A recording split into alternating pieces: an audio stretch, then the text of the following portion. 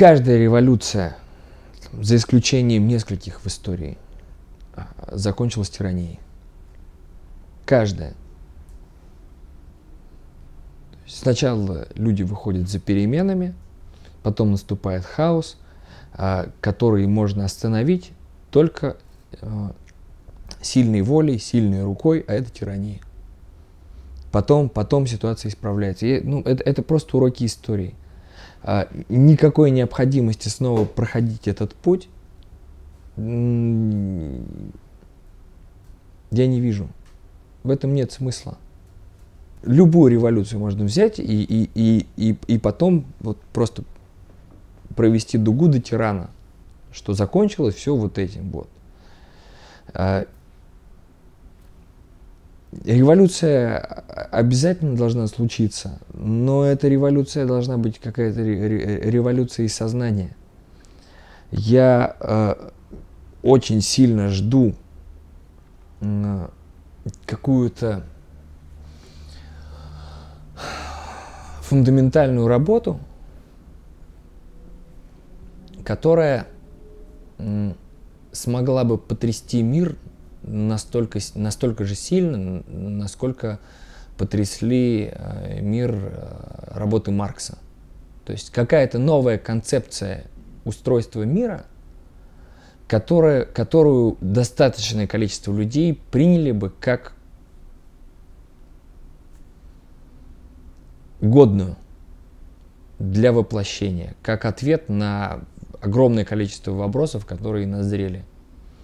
И я понимаю, что эта работа, она э, будет находиться на стыке как раз таки философии, экономики, э, права, политологии. Нужна новая схема того, как все мы можем уживаться на этой планете. Это, это, это, это обязательно а, работа о мире глобальном, о том, что мир может объединяться еще и может объединиться, вот по другим правилам, не вокруг а, мировой финансовой системы, очень странной, потому что а, на сегодняшний день э, правила игры таковы, что а, система замкнулась, ее невозможно разорвать.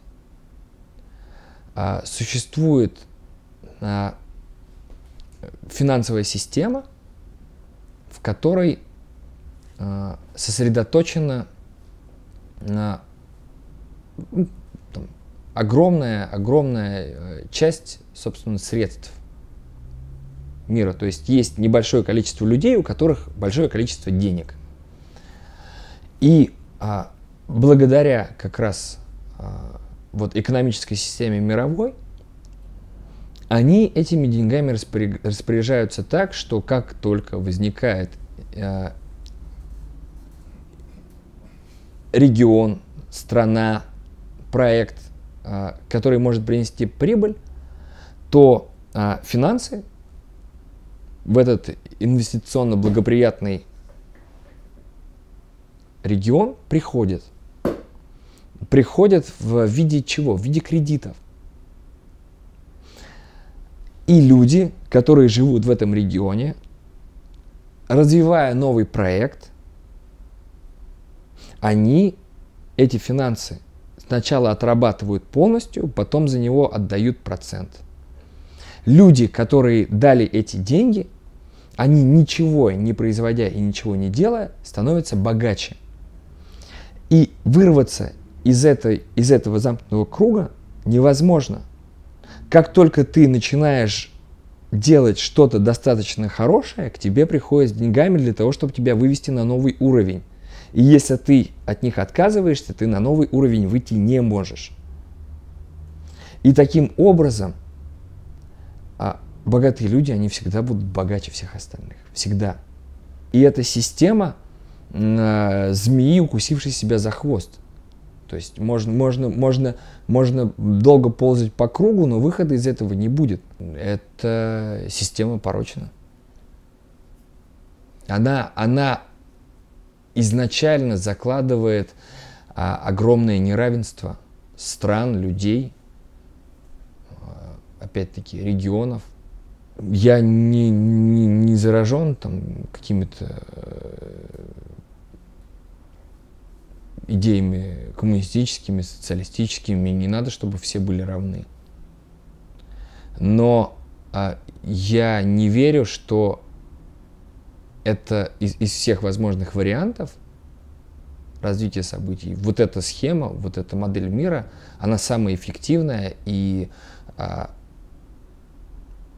самая конкурентоспособная, что именно она ответит там на все вызовы, которые, с, с которыми люди сталкиваются. Потому что уже сейчас видно, что в таких условиях страны между собой, страны, блоки, регионы, они начинают конкурировать конкурировать, потому что, ну, собственно, количество ресурсов ограничено, а, количество благ ограничено. И жить